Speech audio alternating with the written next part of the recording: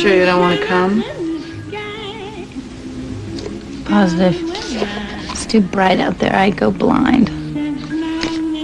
Paige, this isn't right. He's in Greece by now. It was next on his itinerary. Probably there was some Bulgarian floozy. Maybe not.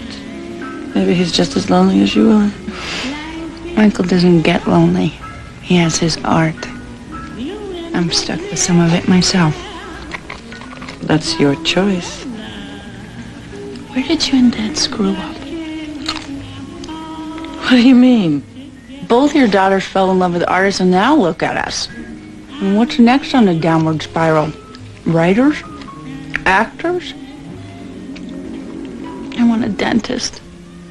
Somebody boring and stable. And good luck. Boring, stable men are few and far between. This isn't helping, Paige. Sitting around here moaning about your life. It's time to pick up the pieces and start over. Why? What, don't I have a right to be depressed for a little while? I just broke up with my husband. I mean, okay, so it wasn't my husband for very long. Marred my body and stranded me in Spain, but I at least get to be sad about it, don't I? Of course you do, but I mean, so what if I want to sit around my bathrobe all day? Eat chocolate till I bloat. Listen to depressing music. Can you imagine how much worse off I'd be if I didn't allow myself these things? no, I really can't. I'd be keeping it all bottled up inside. I'd be a wreck. Paige, sweetheart, don't take this the wrong way, but you are a wreck. This is my last box. Ugh.